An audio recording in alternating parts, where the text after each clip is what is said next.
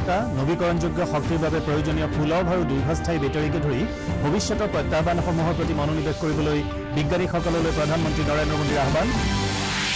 আগন্তুক মাহসমূহত কৃষি ঋণৰ চাহিদা বৃদ্ধি পোৱাৰ সম্ভাৱনা আছে বুলি ৰিজাৰ্ভ বেংকৰ গৱৰ্ণৰ শক্তিকান্ত দাসৰ মন্তব্য।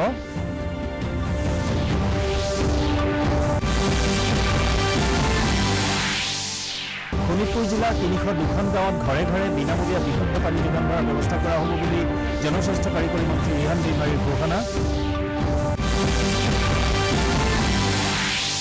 অনুসূচিত জাতি জনজাতি আৰু অন্যান্য শ্ৰেণীৰ লোকসকলৰ সংৰক্ষণৰ ক্ষেত্ৰত কেন্দ্ৰই গ্ৰহণ কৰা সিদ্ধান্তৰ বিৰুদ্ধে অসম প্ৰদেশ কংগ্ৰেছৰ প্ৰতিবাদী ধৰ্ণা। আৰু ক্ৰীড়াৰ ক্ষেত্ৰত মহিলাৰ অংশগ্ৰহণ আৰু মহিলা সবলীকৰণৰ উদ্দেশ্যে চিৰাং জিলাত মুখ্যমন্ত্ৰী মহিলা ক্ৰীড়া প্ৰতিযোগিতাৰ আয়োজন।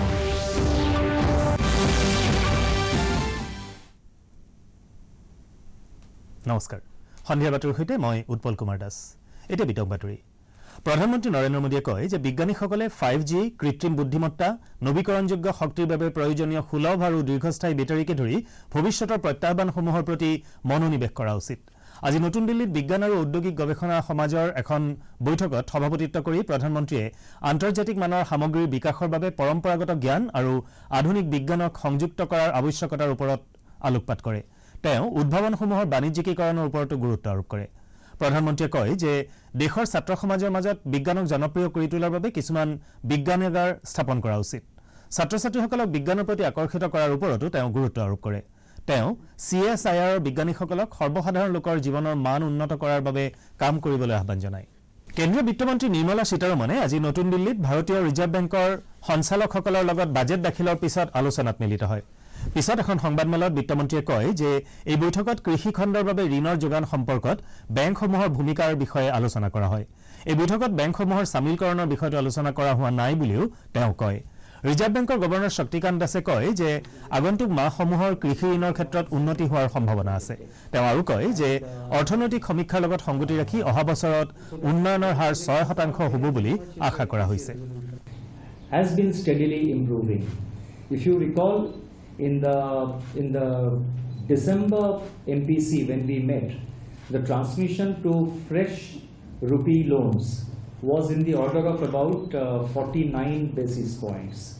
Now it has improved. In this monetary policy, we have said that the transmission of the rate cut has improved to 69 basis points. First thing is that uh, it's a consequence of the rate cut. It's a consequence of the surplus liquidity which we have ensured in the system. Sonitpur জিলাৰ তিনিশ দুখন গাঁৱত জনস্বাস্থ্য কাৰিকৰী বিভাগে ঘৰে ঘৰে বিনামূলীয়া বিশুদ্ধ পানী যোগান ধৰিব। তেজপুৰত উপায়ুক্তৰ কাৰ্যালয়ৰ সভাকক্ষত কালি অনুষ্ঠিত এখন পৰ্যালোচনা সভাত অংশগ্ৰহণ কৰি জনস্বাস্থ্য কাৰিকৰী বিভাগৰ মন্ত্ৰী ৰিহন দৈমাৰীয়ে এই কথা ঘোষণা কৰে। পিছত এখন সংবাদমেলত মন্ত্ৰীগৰাকীয়ে কয় যে আগন্তুক বি টি আৰৰ নিৰ্বাচনত প্ৰমোদ বড়ো আৰু এন ডি এফ বিয়ে গঠন কৰিব খোজা নতুন দলটোৱে কোনো প্ৰভাৱ নেপেলায়। হাগ্ৰামা মহিলাৰী নেতৃত্বাধীন বি পি এফে পুনৰ ক্ষমতা দখল কৰিব বুলি তেওঁ দাবী কৰে। অনুসূচিত জাতি অনুসূচিত জনজাতি আৰু অন্যান্য পিছপৰা শ্ৰেণীৰ লোকসকলৰ সংৰক্ষণৰ ক্ষেত্ৰত কেন্দ্ৰীয় চৰকাৰে গ্ৰহণ কৰা সিদ্ধান্তৰ বিৰুদ্ধে আজি অসম প্ৰদেশ কংগ্ৰেছ কমিটিয়ে গুৱাহাটী ৰটাৰী ক্লাবত প্ৰতিবাদী ধৰ্ণা কাৰ্যসূচী ৰূপায়ণ কৰে। দলটোৰ জ্যেষ্ঠ নেতা শৰদ বৰকটকী বলিন কুলি প্ৰাক্তন মুখ্যমন্ত্ৰী তৰুণ গগৈ আৰু ৰকিবুল হুছেইনকে ধৰি ভালেসংখ্যক নেতা কৰ্মীয়ে এই প্ৰতিবাদী কাৰ্যসূচীত অংশগ্ৰহণ কৰে। প্ৰতিবাদকাৰীসকলে চৰকাৰৰ সিদ্ধান্তক সমালোচনা কৰি জনজাতিসমূহৰ বাবে সংবিধান প্ৰদত্ত সংৰক্ষণ নীতি পুনৰ প্ৰযোজ্য কৰিবলৈ দাবী জনায়। পিছত কামৰূপ মহানগৰ জিলাৰ উপায়ুক্তৰ জৰিয়তে প্ৰতিবাদকাৰীসকলে ৰাষ্ট্ৰপতিলৈ এখন স্মাৰক পত্ৰ প্ৰেৰণ কৰে। অসম প্ৰদেশ কংগ্ৰেছৰ সভাপতি ৰিপুণ বৰাই ফিল্মফেয়াৰ বঁটাক লৈ ৰাজনীতি কৰা হৈছে বুলি অভিযোগ কৰে। তেজপুৰৰ এখন সংবাদমেলত বৰাই কয় যে অসমৰ দৰে বিভিন্ন সমস্যাৰে ভাৰাক্ৰান্ত ৰাজ্য এখনত ফিল্মফেয়াৰ বঁটা প্ৰদান অনুষ্ঠানৰ আয়োজন কৰাটো উচিত হোৱা নাই। তেওঁ কয় যে বিজেপি চৰকাৰে উৎসৱ পাৰ্বণৰ জৰিয়তে মূল্যবৃদ্ধি বান গৰাখহনীয়া আদি সমস্যাৰ পৰা আঁতৰি থাকিবলৈ বিচাৰিছে। বলীউডৰ নৃত্যগীতৰ প্ৰদৰ্শনে চি এ এ বিৰোধী আন্দোলন স্তিমিত কৰিব নোৱাৰে বুলি তেওঁ মন্তব্য কৰে।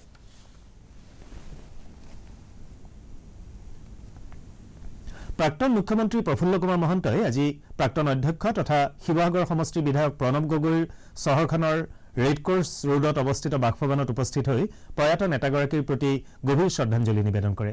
পিছত শিৱসাগৰ আৱৰ্ত ভৱনত এখন সংবাদমেলত মহন্তই নাগৰিকত্ব সংশোধনী আইন সন্দৰ্ভত নিজৰ স্থিতি স্পষ্ট কৰি এই আইনখনক অসাংবিধানিক বুলি অভিহিত কৰে। অসম চুক্তি উলংঘা কৰা এই আইনখনৰ বিৰুদ্ধে অসমৰ জনসাধাৰণ একত্ৰিত হোৱা উচিত বুলি তেওঁ মন্তব্য কৰে। তেওঁ আৰু কয় যে কেন্দ্ৰীয় চৰকাৰৰ হেমাহিৰ বাবে অসম চুক্তিৰ ৰূপায়ণ সম্ভৱ হোৱা নাছিল। এতিয়া এই আইনখনৰ ফলত অসমৰ পৰিস্থিতি অধিক ভয়াৱহ হ'ব। আগন্তুক নিৰ্বাচনত অসম গণ পৰিষদে নতুন ৰূপত আত্মপ্ৰকাশ কৰি জনসাধাৰণৰ আস্থা লাভ কৰিবলৈ সমৰ্থ হ'ব বুলিও তেওঁ আশা প্ৰকাশ কৰে। কটন বিশ্ববিদ্যালয়ৰ ডঃ. সূৰ্যকুমাৰ ভূঞা গ্ৰন্থাগাৰৰ উদ্যোগত আজি বিশ্ববিদ্যালয়ৰ মাণিক চন্দ্ৰ বৰুৱা ভৱনত empowering visually impaired students through appropriate education and technique শীৰ্ষক উত্তৰ পূব প্ৰান্তীয় কৰ্মশালাৰ আয়োজন কৰা হয়। সাম্প্ৰতিক সময়ৰ কাৰিকৰী আৰু উন্নত প্ৰযুক্তিবিদ্যাৰ লগত দৃষ্টিহীন ছাত্ৰ ছাত্ৰীয়ে কেনেকৈ নিজকে খাপ খুৱাই নতুন প্ৰযুক্তিৰে শিক্ষিত হৈ আগবাঢ়িব পাৰিব সেই সম্পৰ্কে কৰ্মশালাত বিশদভাৱে আলোচনা কৰা হয়। বিশ্ববিদ্যালয়ৰ গ্ৰন্থাগাৰিক ডঃ জেবিন আহমেদে কয় যে উত্তৰ পূবৰ কেইবাখনো ৰাজ্যৰ পৰা অহা প্ৰতিনিধিসকলে প্ৰযুক্তি সম্পৰ্কে জনাৰ আগ্ৰহ প্ৰকাশ কৰিছে। তেওঁলোকে নতুন প্ৰযুক্তিবিদ্যা আৰু কাৰিকৰী বিদ্যাৰে নিজকে শিক্ষিত কৰিব পাৰিব বুলি তেওঁ প্ৰকাশ কৰে। কৰ্মশালাত বিশ্ববিদ্যালয়খনৰ উপাচাৰ্য ভৱেশ চন্দ্ৰ গোস্বামী পঞ্জীয়ক দিগন্ত কুমাৰ দাস আৰু বিশিষ্ট সমাজকৰ্মী লেখু লাইশ্ৰমো উপস্থিত আছিল। যদি এইবোৰ বিষয়ে অৱগত কৰিবলৈ তেওঁলোকৰ ক্ষেত্ৰত বিশ্বত বিভিন্ন প্ৰান্তত বিভিন্ন ধৰণৰ শিক্ষাবিদসকলে গৱেষণা কৰি আছে। তেওঁলোকৰ শিক্ষাৰ মানদণ্ড উন্নত ৰাজ্য চৰকাৰে ক্ৰীড়াৰ ক্ষেত্ৰত মহিলাৰ অংশগ্ৰহণ আৰু মহিলা সবলীকৰণত বিশেষ গুৰুত্ব আৰোপ কৰি সমগ্ৰ ৰাজ্যতে আৰম্ভ কৰা মুখ্যমন্ত্ৰী মহিলা ক্ৰীড়া প্ৰতিযোগিতা কালি চিৰাং জিলাতো অনুষ্ঠিত হয়। চিৰাং জিলা ক্ৰীড়া বিভাগৰ উদ্যোগত কাজলগাঁৱত অৱস্থিত জিলা ক্ৰীড়া সন্থাৰ ক্ৰীড়া প্ৰকল্পত অনুষ্ঠিত এই প্ৰতিযোগিতাত জিলাখনৰ বিজনী আৰু চিডলি উন্নয়ন খণ্ড এলেকাৰ অৰ্ধ শতাধিক মহিলাই অংশগ্ৰহণ কৰে। উল্লেখযোগ্য যে কাইলৈৰ পৰা গুৱাহাটীৰ ছাই খেলপথাৰত অনুষ্ঠিত হ'বলগীয়া ৰাজ্যিক পৰ্যায়ৰ প্ৰতিযোগিতাত অংশগ্ৰহণৰ বাবে খেলুৱৈসকলক নিৰ্বাচন কৰা হ'ব। অনৈক্যৰ মাজত ঐক্য হৈছে ভাৰতৰ পৰম্পৰা। এক ভাৰত শ্ৰেষ্ঠ ভাৰতো এই ভাৱনাৰ পৰা উপজা এটা সূত্ৰ। ৰাজস্থানী ভাষাৰ প্ৰচাৰ প্ৰসাৰ সংৰক্ষণ আৰু ইয়াক সমৃদ্ধিশালী কৰাৰ ক্ষেত্ৰত সমৰ্পিত ৰাজস্থানী সাহিত্যিক বিজয় দান ডেথাৰ কোনো পৰিচয়ৰ প্ৰয়োজন নাই। পদ্মশ্ৰী আৰু ৰাজস্থান ৰত্নৰে অলংকৃত আৰু বিভিন্ন সাহিত্য পুৰস্কাৰেৰে বিভূষিত ডেথাই যেতিয়া ৰাজ ৰাজস্থানী সাহিত্য ৰচনা আৰম্ভ কৰিছিল সেই সময়ত এই ভাষাৰ গ্ৰন্থ পঢ়োতা কম আছিল। এনে ক্ষেত্ৰত তেওঁ দুগৰাকী বিদেশী সাহিত্যিকৰ দ্বাৰা অনুপ্ৰাণিত হৈ ৰাজস্থানী ভাষা সাহিত্যৰ প্ৰচাৰ প্ৰসাৰ আৰু সংৰক্ষণৰ কাম আৰম্ভ কৰে। যোধপুৰৰ বাৰুণ্ডা নিবাসী ডেথাই মৰুধাৰাৰ ঝাড ঝাংখাৰো ঔদৰ ভূমি আহাট আৰু চৰচৰাহটোৰ পৰা নিগৰি ওলোৱা শব্দক লিপিবদ্ধ কৰি ভাষাৰ অমূল্য ভাণ্ডাৰ চহকী কৰিছে। এনে লেখনিৰ যোগেদি তেওঁ কেৱল নাম আহৰণ কৰাই নহয় এনে প্ৰচেষ্টাৰ জৰিয়তে সমাজখন বহু দিশত সমৃদ্ধ হৈছে। তেওঁৰ মতে ভাষাৰ উপযুক্ত প্ৰয়োগেহে লিখকক প্ৰতিষ্ঠা দিয়ে কিন্তু বিজয়দান ডেথা এনে এগৰাকী ব্যক্তি যি কেতিয়াও আত্মপ্ৰচাৰ বিচৰা নাছিল আৰু নিজৰ সফলতাক তেওঁ ব্যক্তিত্বৰ অংশ কৰা নাছিল उसके दूसरा कोई पहले ही था तो बड़ी समस्या थी कि बगैर पाठक के क्या लिखें तो भाषा का दखल तो रहता ही है लेकिन जहां तक बन पड़े उस भाषा को काम में लेने वाले लेख लेखक की जो क्षमता होती है उसी के अनुसार अ, अ, लेखक प्रसिद्धि पाता मैं दो उदाहरण दूंगा एक अ, किर्गिज भाषा অসমীয়া সাহিত্যৰ বিজয় যাত্ৰা অব্যাহত আছে জগত সভালৈ গৈছে অসমীয়া সাহিত্য অসমৰ সৃষ্টিশীল সাহিত্যই বৰ্তমান সময়ত বিশেষ প্ৰাসংগিকতা লাভ কৰিছে এই সন্দৰ্ভত এয়া আমাৰ প্ৰতিবেদন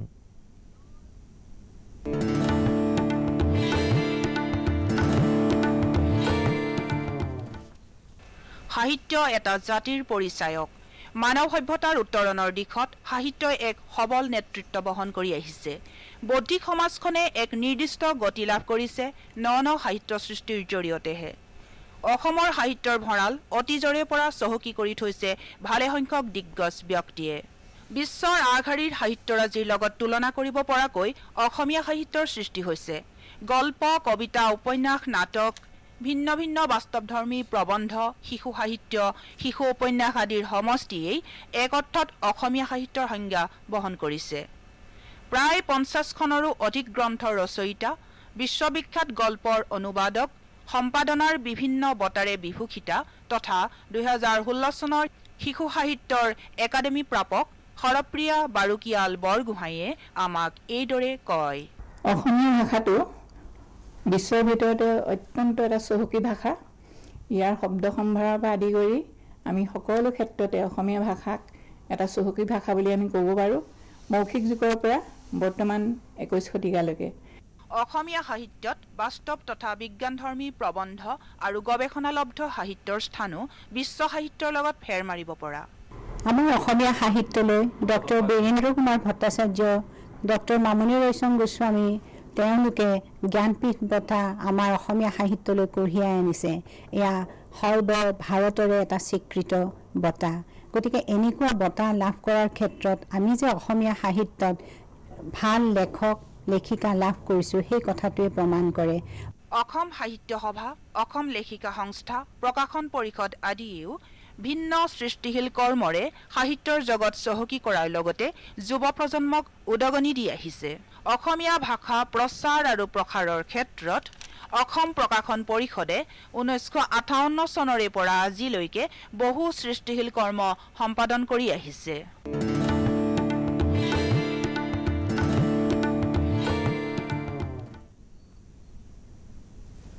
পৰৱৰ্তী বাতৰিলৈ আহিছো। হাইলাকান্দি আৰক্ষীয়ে চহৰখনৰ এখন অভিজাত হোটেলৰ পৰা দুজন নাৰী সৰবৰাহকাৰীক আটক কৰিবলৈ সমৰ্থ হৈছে। হাৰিয়ানাৰ পুষ্পেন্দৰ সিং ৰিংকু চৌধুৰী আৰু ৰাজস্থানৰ সুৰেন্দ্ৰ চৌধুৰী নামৰ এই লোক তিনিজনে হাইলাকান্দিৰ যুৱতীক ৰাজস্থানলৈ নি বিক্ৰী কৰাৰ চেষ্টা চলাইছিল। এই ঘটনা সংক্ৰান্তত আৰক্ষীয়ে শিৱানী মালাকাৰ নামৰ স্থানীয় মহিলা এগৰাকীকো আটক কৰিছে। ওদালগুৰি জিলাৰ টংলাৰ লোকপ্ৰিয় গোপীনাথ বৰদলৈ স্মৃতি ভৱনত ওদালগুৰি জিলা বড়ো মহিলা কল্যাণ পৰিষদৰ উদ্যোগত আৰু কোকৰাঝাৰৰ আলেয়াৰন স্বেচ্ছাসেৱী সংস্থা আৰু জিলা সমাজ কল্যাণ বিভাগৰ সহযোগত আজি সুৰা আৰু মাদক দ্ৰব্য নিবাৰণী সজাগতা সভা অনুষ্ঠিত হয়। জিলা আবুফৰ সভানেত্ৰী নিৰ্মলা বড়োৰ সঞ্চালনাত অনুষ্ঠিত সভাখনত অংশগ্ৰহণ কৰি সমাজ কল্যাণ মন্ত্ৰী প্ৰমীলাৰাণী ব্ৰহ্মই সুৰা আৰু মাদক দ্ৰব্যৰ অবাধ প্ৰচলনে বড়ো জনগোষ্ঠীৰ নৱপ্ৰজন্মক ক্ষতিগ্ৰস্ত কৰিছে বুলি মন্তব্য কৰে। সুৰা আৰু মাদক দ্ৰব্যৰ পৰা আঁতৰত থাকি অধ্যয়ন আৰু অনুশাসনৰ মাজত নিজকে আবদ্ধ কৰি ৰাখিবলৈ তেওঁ নৱপ্ৰজন্মক আহ্বান জনায়। ওদালগুৰি জিলাৰ উপায়ুক্ত প্ৰকাশ ৰঞ্জন ঘৰফলীয়াই উদ্বোধন কৰা সভাখনত নিৰ্মাণ পুনৰ সংস্থাপন কেন্দ্ৰৰ সমন্বয়ক ৰাতুল দেই সমল ব্যক্তি হিচাপে অংশগ্ৰহণ কৰে। বাতৰি শেষ হোৱাৰ আগতে প্ৰধান বাতৰিসমূহ আকৌ এবাৰ। ফাইভ জি কৃত্ৰিম বুদ্ধিমত্তা নবীকৰণযোগ্য শক্তিৰ বাবে প্ৰয়োজনীয় সুলভ আৰু দীৰ্ঘস্থায়ী বেটাৰীকে ধৰি ভৱিষ্যতৰ প্ৰত্যাহ্বানসমূহৰ প্ৰতি মনোনিৱেশ কৰিবলৈ বিজ্ঞানীসকললৈ প্ৰধানমন্ত্ৰী নৰেন্দ্ৰ মোদীৰ আহ্বান। আগন্তুক মাহসমূহত কৃষি ঋণৰ চাহিদা বৃদ্ধি পোৱাৰ সম্ভাৱনা আছে বুলি ৰিজাৰ্ভ বেংকৰ গৱৰ্ণৰ শক্তিকান্ত দাসৰ মন্তব্য।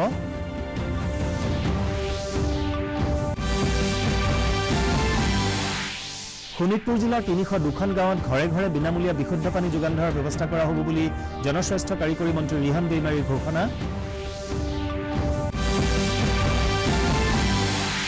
অনুসূচিত জাতি জনজাতি আৰু অন্যান্য পিছপৰা শ্ৰেণীৰ লোকসকলৰ সংৰক্ষণৰ ক্ষেত্ৰত কেন্দ্ৰই গ্ৰহণ কৰা সিদ্ধান্তৰ বিৰুদ্ধে অসম প্ৰদেশ কংগ্ৰেছৰ প্ৰতিবাদী ধৰ্ণা।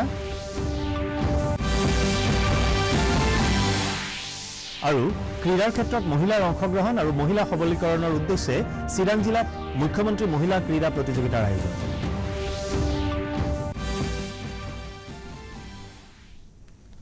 সন্ধিয়াৰ বাতৰি ইমানেই পৰৱৰ্তী বাতৰি কাইলৈ পুৱা আঠ বাজি পঞ্চাছ মিনিটত প্ৰচাৰ কৰা হ'ব। নমস্কাৰ।